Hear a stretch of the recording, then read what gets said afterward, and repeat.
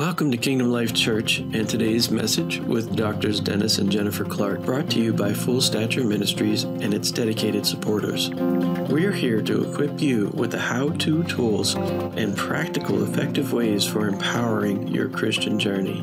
Join us as we explore teachings that bring healing through forgiveness and ignite transformation in both individuals and families. For more resources, join our mission Visit us at forgive123.com. Let's embark on this journey together.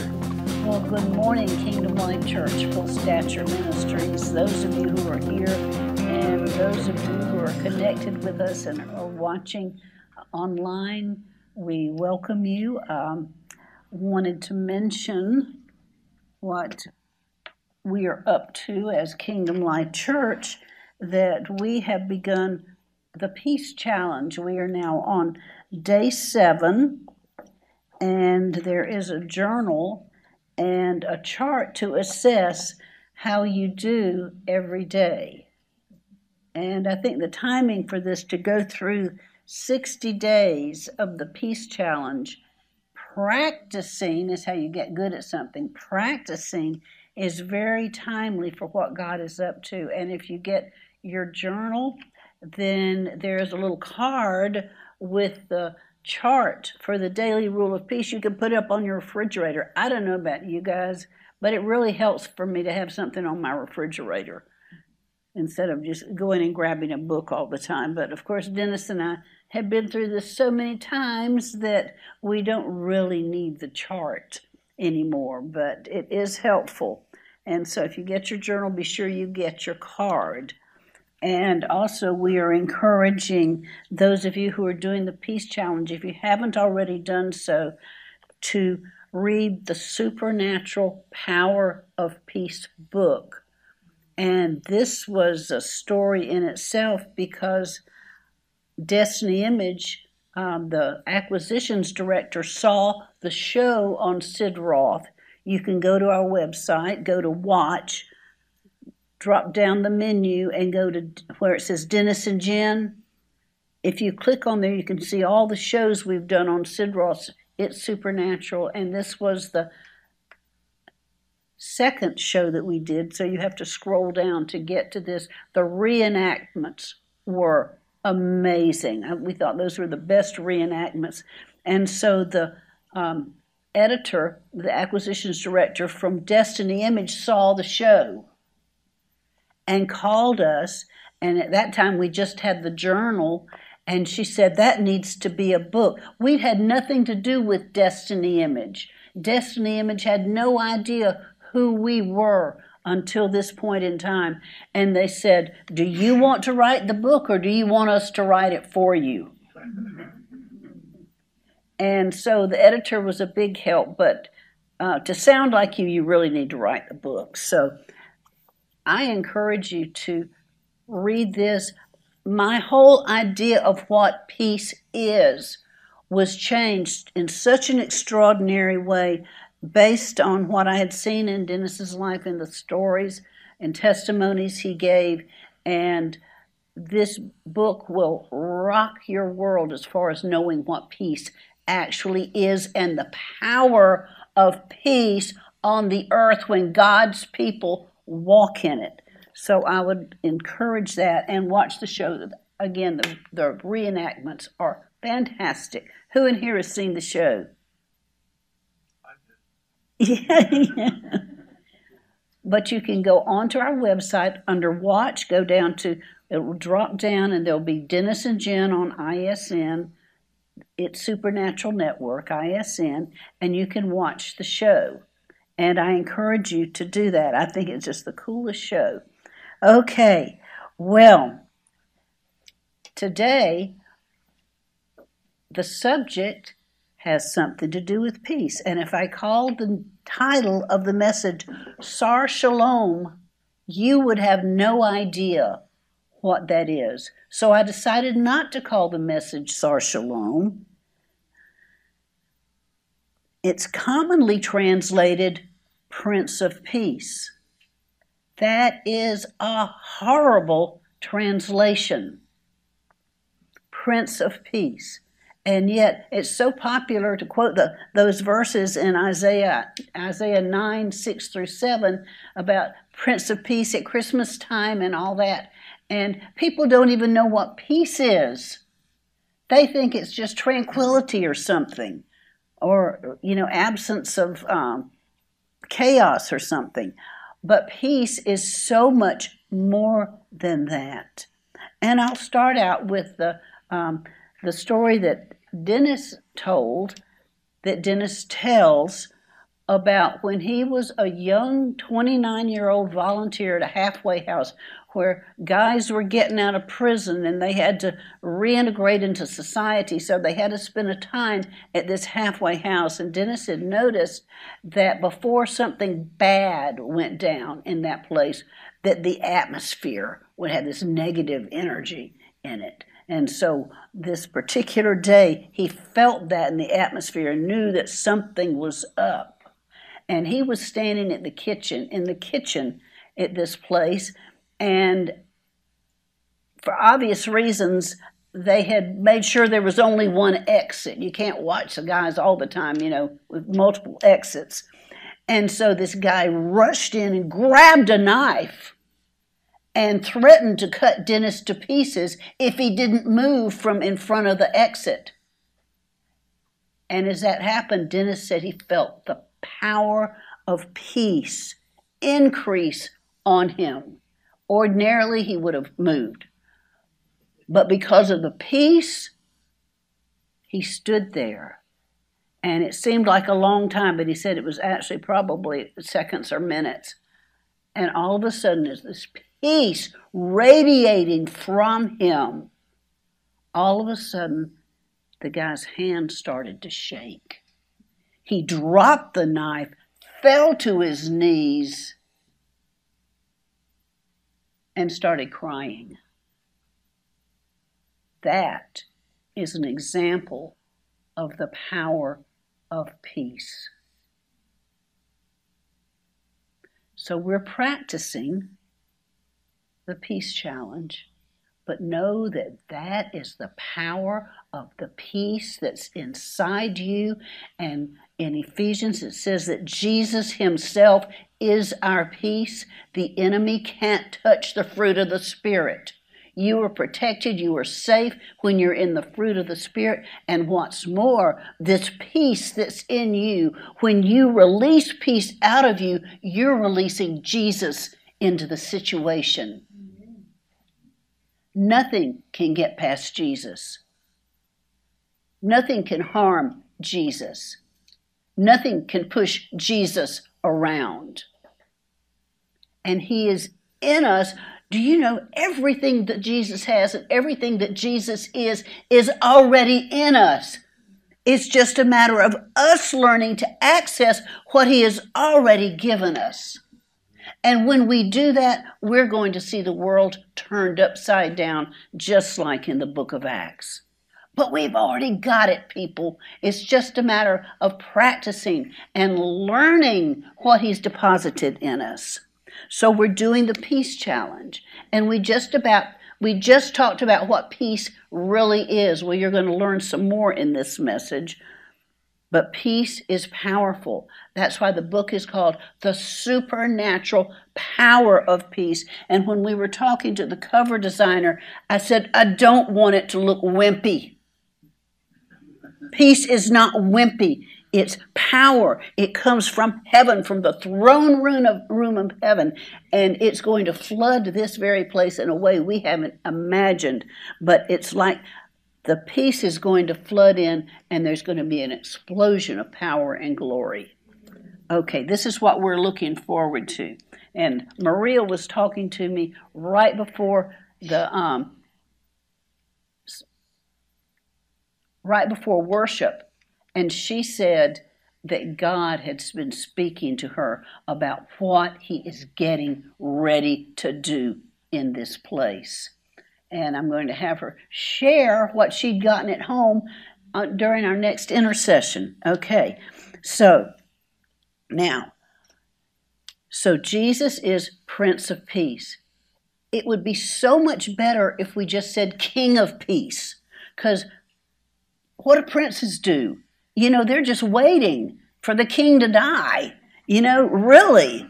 You know, they, they don't have any real function that they serve. So it would be better to say, Jesus, Sar Shalom, King of peace. And wherever there's a king, he has to have a kingdom. He has kingdom citizens, he has kingdom territory, and in that territory, he has laws for governing. He has commandments. It says, Jesus says, He who loves me will keep my commandments. A king governs. Jesus is a king with a kingdom. And lately I have been studying because we have been promised prophetically that the King of Glory is going to visit this place. I've been studying the book of Matthew, which is the book of the King, and there's a reason that that is the first gospel that's presented in the New Testament. And I will not just touch on it this morning, but it's pretty astounding. I don't think that, well, in studying, there are really not very many good commentaries out there as far as I'm concerned, and I study a lot and I get lots of commentaries and, and other study materials. But I'm going to, I hope I'm going to shift your thinking this morning just a little bit. So Jesus is a king with the kingdom. In the Gospels, what did Jesus preach? You know, there is a gospel of salvation, and that's what most churches preach that we're forgiven for our sins. But Jesus preached the gospel of the kingdom. Read through your New Testament. Preaching, he went everywhere, preaching the gospel of the kingdom and healing all who came to him. I don't know how many times it's said in the gospels, but it's said a lot of times. As a matter of fact, John the Baptist came with a message, which was repent, for the kingdom has drawn near. And then in Matthew, a few verses later, Jesus went forth preaching, Repent, for the kingdom has drawn near. The kingdom and understanding how it works and how Jesus works through the kingdom is crucial to us understanding what Christianity is supposed to be. I'm afraid that most churches are more like hospitals for the terminally sick instead of places equipping the disciples who will go forth and demonstrate the kingdom in society. We are called to be salt, we are called to be light, we are called to be an influence again, like the book of Acts, that turns the world upside down. And that is exactly what Jesus is preparing right now. Just read the prophetic words, I mean by good prophets, that that God is not saying just go be nice people and sit in your church buildings. God is saying, get up and go forth, just as Jesus sent the disciples forth. But it's up to the shepherds to equip the saints for the work of the ministry so they can actually do something good. Do you know I cringe a lot of times when I see um, videos of, of people out um, preaching on sidewalks and things, and I listen to what they're saying, and and then I look at what there's a um, preacher over in Germany. His name is George Carl, I believe. He's been on Sid Roth a few times, and he had the experience of entering into the blessed are the poor in spirit, where his soulish nature was stripped off of him, just like in Hebrews 4:12 where it's dividing asunder soul and spirit all that junk that was cleaning clinging to and clogging up his spirit was released, and he was released to the throne room of God, and he's lived there ever since and he's equipped his church. And do you know what his people do? They don't just go out and tell people their sins are forgiven. They go out and demonstrate by getting people healed on the streets, and the people are saying, What must we do to be saved? We are supposed to be kingdom demonstrators. Okay. Now, point one is peace and God's kingdom. And so, what is the definition of peace? Which is the word shalom. Shalom includes salvation, justice, and peace. In passages in the Bible, shalom is translated as health, righteousness, well being, security, wholeness, integrity, abundance, intactness, honesty, prosperity, right relationships, protection, life givingness, harmony, straightforwardness, reconciliation, blamelessness, rightness, good accord. Everything there, nothing missing. Peace reveals God's kingdom. This is a, is a description, shalom is a description of what it's like in a kingdom governed by Jesus.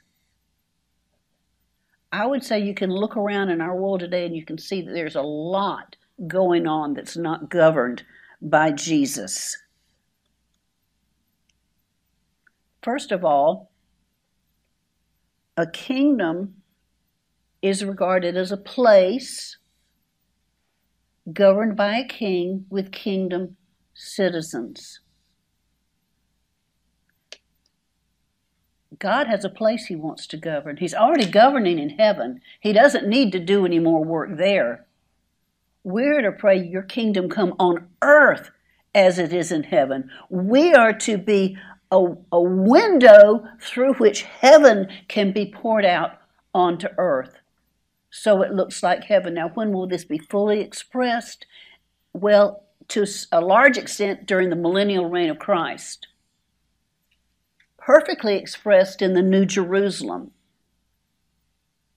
God's kingdom, God ruling. Under the laws of the kingdom. Jesus said, If you love me, you will keep my commandments. So, a place, planet Earth, is what God's after. And He's after a people who are actually ruled by the king. We can't be very much help helping bring them, bringing the kingdom to earth, God bringing the kingdom to earth through us, unless we're living under His rule, unless He's governing us. Matthew, in the book of Matthew, chapters 5, 6, and 7, gives the constitution of the kingdom, description of kingdom citizens, and then goes into how those kingdom citizens should live on earth. And it's really clear if you study Matthew that you cannot do that in your own strength. We cannot live like that. There has to be somebody else living and moving through us. It's not I who live, but Christ who lives, lives in me. So if peace reveals God's kingdom, the kingdom is where God's will is done, not our will, not people's will, not people's opinions, but where God's will is done. The entire book of Acts is a picture. It's called the, the Acts of the Apostles. It's actually the Acts of the Apostles through kingdom citizens fully surrendered to God. People through whom God, first of all, if you haven't read um, Jonathan Cahn's Return of the Kings, these were the spirits, these were the principalities and powers that were facing the the first century and first and second century churches um, release of the kingdom and many of them were martyred and they did pay the price but what they did was something that is not humanly possible. They went up against, in their life, in their demonstration, they went up against the strongest evil powers that have ever been on planet Earth.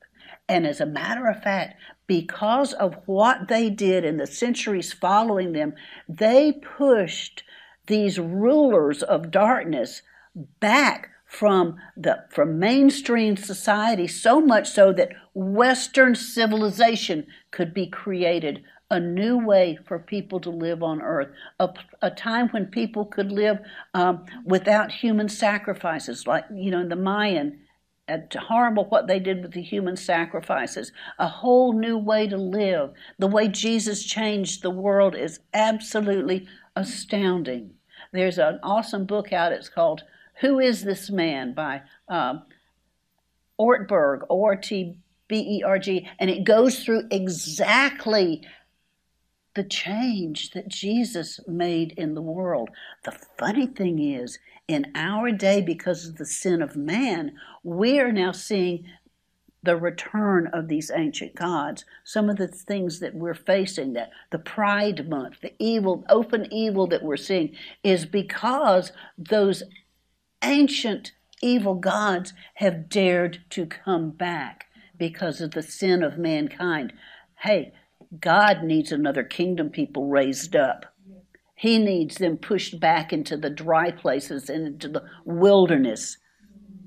They're holding people captive, and God loves those people, and God wants those people set free, and God is coming on the scene to make a difference. God is coming on the scene to do a kingdom work once again. And of course, we know that in Matthew, John taught his disciples to pray. You see, in the book of in, in the book of John, John was a, a whole different kind of book from the Gospel of Matthew. The Gospel of John was this wonderful spiritual book about the love of God and what we receive from Him and, our oneness with God. And John came to speak life to to tell us what this amazing eternal life was and this amazing one that we are joined to as the Son of God. Matthew is militant. John chapter 17 is not a militant prayer, it's, it's a unity prayer. When Jesus taught his disciples to pray, he taught them to pray a militant prayer, and it's not something to be recited by rote the way people do in churches. I mean, it's what we are doing when we get together and pray at nine o'clock on Sunday mornings. We are joining with God in a covenant to bring his purposes to earth. Jesus said in Matthew 6:10, "Your kingdom come, your will be done. Your kingdom come, your kingdom come on earth as it is in heaven." How is it in heaven? God's will is perfectly done we need to be praying that God's will will be done in this region, in this nation, in the nations of the earth. And it ends with, for yours is the kingdom and the power and the glory forever. This is what we're praying to be released. This is what we're praying, agreeing with God. He wants this to happen in this region. This is our sphere of authority right here. But we're also praying for our nation. We're praying for Israel. We're praying for God's kingdom to come, and it's a kingdom of power and glory and His authority. No other kingdom like God's kingdom. And by the way, whenever you say kingdom, you can always substitute the word shalom for the peace of God's kingdom. As a matter of fact, in, in Romans 10 15, Paul quoted the Old Testament and he said, How beautiful are the feet of those who preach the gospel of peace, which is the gospel of the kingdom of heaven. Okay, now the kingdom exists at any person or place where God's rule is accepted as supreme. Peace comes when God's when God rules. We're practicing personal peace now because I'll tell you, it's got to be inward before it can be outward. You can't give something you don't have. So we need to have it in ourselves before there can be peace in the world through us. And we know of people who, well, we have encouraged you. You've got everything. You've got the love of God. You've got the peace of God inside you. We have encouraged you to go to the mall, go to the grocery store, in your place of work, in your home. You don't even have to say a word. Drop down to your spirit and release love into the atmosphere. You can set the atmosphere of your home. If there's chaos, if there's um, unpleasantness, you can drop down and you can release the peace of God. You have the power in you. Practice it. This next week, practice it. You have the power in you to change the entire atmosphere around you. Practice that during the, the peace challenge. If not every day, at least a few times a week, practice changing the atmosphere. But of course, the, the, the place where you always are, change the atmosphere for the people in your home, for your children, for your parents, for your friends, people who come over. You create the atmosphere from in you out into the world.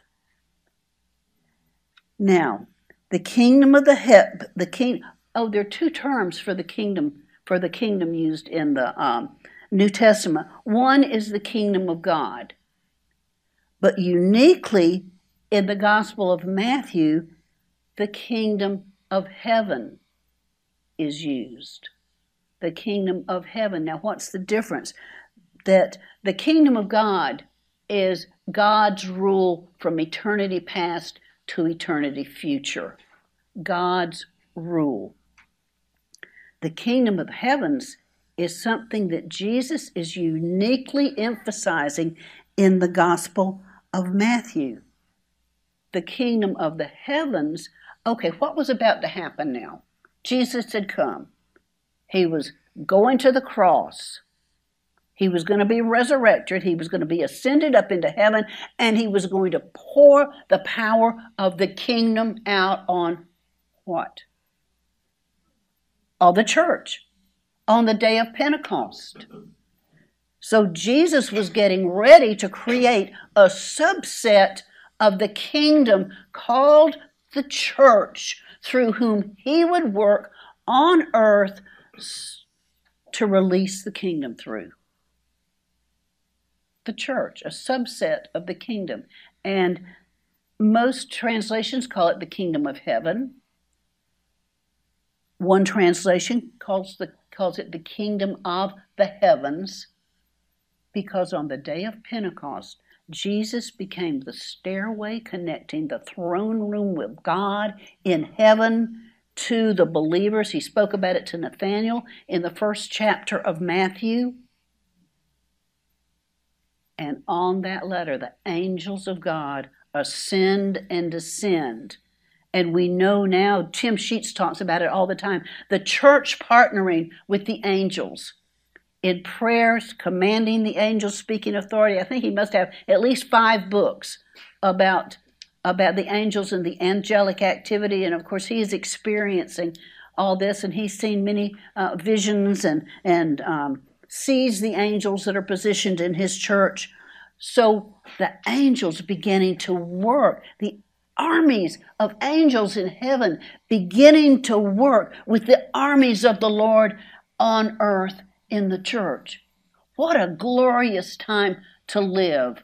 I'll tell you what, I, I know that those witnesses, the cloud of witnesses in heaven, is looking down and just absolutely amazed to see what God is doing and to witness what He is getting ready to release on earth through a church who's rising up and fulfilling her purpose like the valley of dry bones that lived and stood to its feet as the army of the Lord. That is what the Lord is. You can see what God has done in Israel. He's created a nation of warriors over there. I mean, these people, you couldn't herd them into railroad cars and send them to concentration camps, Camps, you wouldn't survive. And they are willing to fight to the death to protect their land. They're happy to. It's their God given land. Well, whatever God is doing in Israel, He's paralleling in the church. God is creating armies on earth, His people, His kingdom citizens on earth. Now, I want to go back to the Prince of Peace. What a wimpy name. Sar Shalom. This is the militant name. And I want to read to you Isaiah 9 6 through 7. And I'll explain more as I go. For unto us a child is born, unto us a son is given, and the government will be upon his shoulder, and his name will be called Wonderful Counselor, Mighty God, Everlasting Father, Prince of Peace. Sar Shalom, of the increase of his government and peace, there will be no end upon the throne of David and over his kingdom to order it and establish it with judgment and justice from that time forward, even forever. And the zeal of the Lord of hosts will perform this the zeal of the Lord who's commanding his heavenly and earthly armies will perform this. Now, the book of Isaiah uses the word shalom 27 times, which is more than any other book in the Bible. The subject of peace, shalom, begins with Sar Shalom, the bad translation, Prince of Peace, and his ever increasing government in Isaiah 9 6 through 7, and concludes with God's promise in Isaiah 66 12 to extend peace like a mighty river. Reminds me of the river that's flowing from the throne of God in Ezekiel, healing all that it touches. Peace like a mighty river. Now, I specifically wanted to talk about the descriptive names of Jesus used in this passage and what they actually mean.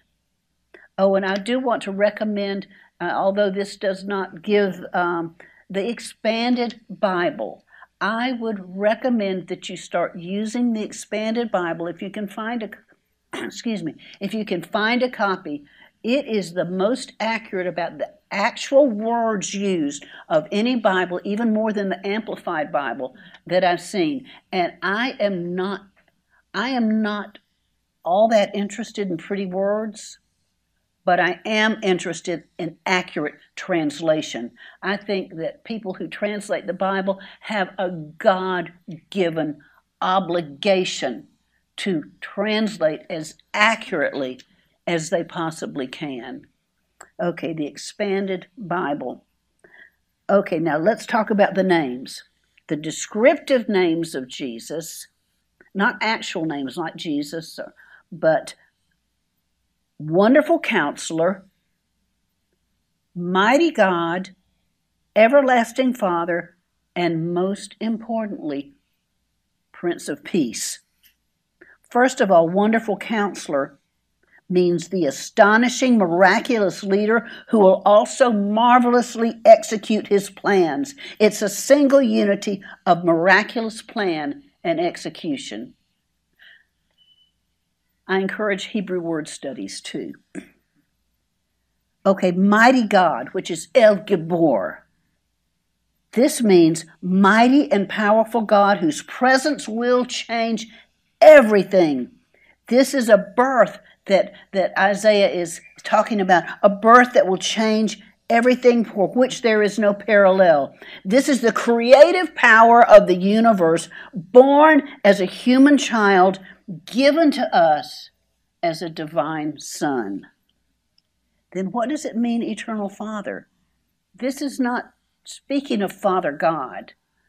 Jesus came as the Father of a new race of men Men who, like him, would combine humanity with divinity. And Jesus came saying that the kingdom of God is within you. Eternal Father. Jesus is not Father God, but Eternal Father in a word combination that anchors Jesus' actions and promises in the center of family life. God is a father, we are his children, and he came to set the solitary in families on earth. In ancient Semitic culture, the responsibility for the welfare of the family and all those who depended on him included provision, protection, and promises like inheritance and destiny.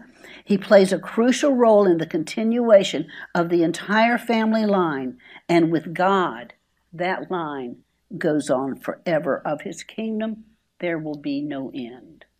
So Jesus is the father of a new race of men. Okay, now, Prince of Peace, Sar Shalom. This is the only place in all Scripture where this combination of Sar Shalom is used. Isaiah has coined a new word here. He's not speaking of an underling or subordinate like our word prince. He means the further purpose of Jesus the Messiah, and that further purpose is not just about peace's tranquility or someone who has authority over peace. SAR, S A R, is a military term referring to the commander of all things. Prince of Peace is not enough. His authority is much bigger than that. This is the King of glory, the absolute monarch of the ages, the Alpha and Omega of all there is. Jesus, then, is the warlord of peace. That doesn't sound very wimpy, does it? Now, these particular verses are referred to by the angels in the what was said when the angels came to the shepherds at the birth of Jesus. Luke 2 13 through 14 from the expanded Bible. Then suddenly, a very large group or great army of angels from heaven joined, appeared with the first angel, praising God and saying, Give glory to God in heaven, the highest place, heaven, and on earth let there be peace among the people who please God. A great militant army and how do we peace, how do we please God? Well, we ultimately we please him just by being saved and we become his child. But when we yield to him as the commander of peace and allow him to bring heaven to earth through us, we become people that God can praise. We become people who please God more than any other the people who are working with God to extend that kingdom like a mighty river of peace on earth, the will of God being done on earth.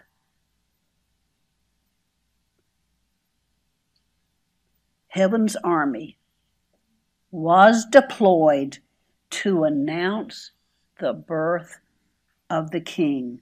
The Sar Shalom had been born. And he is our commander. Now, what's the first time that we see Sar Shalom in action on the earth?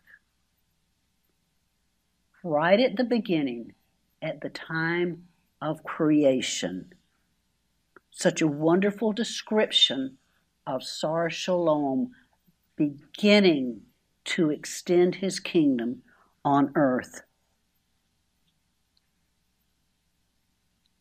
I'll read again Isaiah 9 6 through 7. A child will be born to us, humanity. A son will be given to us, deity. And the government will rest on his shoulders. His name shall be called Wonderful, Miracle Working Marvel, and Awe Inspiring Counselor one who plans and executes eternal purposes of God, mighty military hero God, eternal father of a new race of men, prince of peace, Sar Shalom, the one who brought peace out of chaos and the one still in charge of peace. So at creation, we see two things. We see the Hebrew word ra, which means chaos, utter chaos, the total opposite of peace and we see shalom. And they collide, and we see what happened. At the time of creation, Jesus, the living word, Sar Shalom, spoke into Ra, and chaos and peace came. Order came. No disorder. Perfect harmony. Everything good. Nothing bad. And listen to what Hebrews 1 through 3 in the Amplified says about this Jesus, this Sar Shalom. He is the sole expression of the glory of God, the light being, the outraying or radiance of the divine, and he is the perfect imprint and very image of God's nature, upholding and maintaining and guiding and propelling the universe by his mighty word of power. And if he ever stopped speaking, the universe would fly apart into chaos once again. Now, one of the words in Hebrew for describing this chaos is a, um, is a phrase, tohu bohu when it says that the world was formless and void, it was tohu bohu. It came from Hebrew words that attempts to convey a condition that is empty, void, undistinguishable, without purpose, without order, without meaning, a total ruin, utter and complete chaos. There's no English word that comes close to adequately capturing the concept of the phrase tohu bohu. Genesis 1 1 through 2. In the beginning, God created the heavens and the earth. The earth was formless and void, and darkness was over the surface of the deep, and the Spirit of God was moving over the surface of the waters. I want to tell you, the Spirit of God is moving over the surface of the waters in our world now.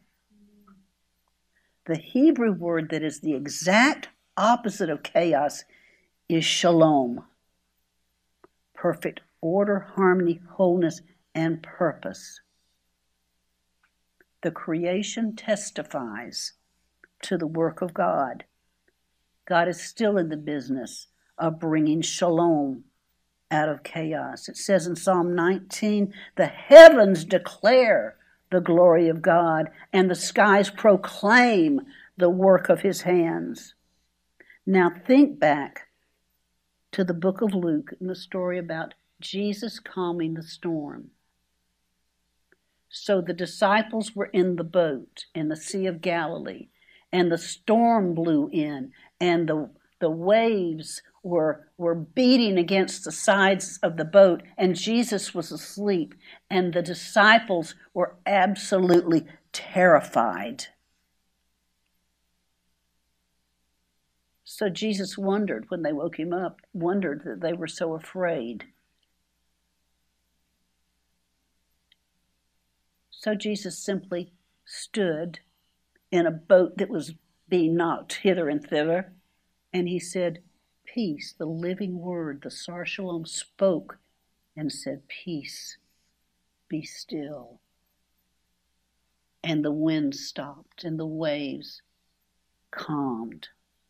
Now, these were Hebrews, these were Jews. They knew the Torah, they knew, they knew the prophets, they knew the Bible. They understood what was happening.